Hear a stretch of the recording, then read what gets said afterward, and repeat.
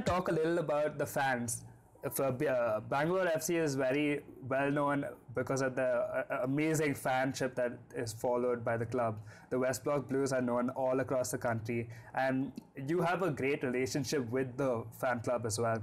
We've seen videos where you have joined them in the stands, where you're cheering with them at the stands, you're doing the Viking claps with them, and everything like that. So, can you tell me what they, what uh, your relationship with the fans means to you?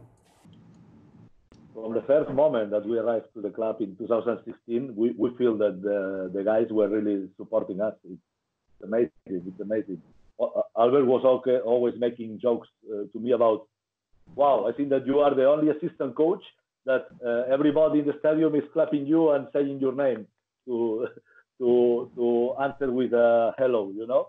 Yeah. Uh, it, it's special. I think that the the way uh, West Block Blues and all the fans in Bengaluru support the team is, is a very special one. I think that uh, for a for a very very young club, uh, from the first moment they have been uh, trying to to to make it big, you know. Yeah.